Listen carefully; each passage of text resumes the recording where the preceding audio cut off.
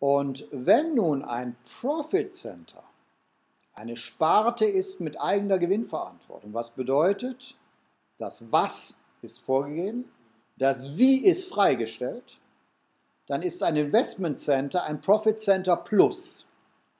Ja, ein Investment Center ist ein Profit Center Plus. Also jedes Investment Center ist automatisch ein Profit Center. Und zwar ein Profit Center plus Disposition über Investitionen.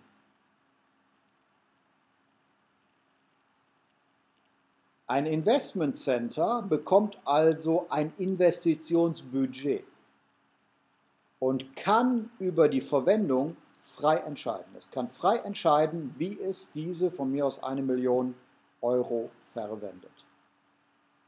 Das ist ein Investment Center.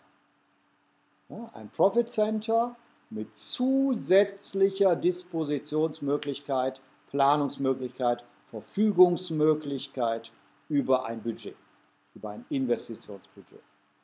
Den Begriff Profit Center hören Sie in der Praxis sehr häufig.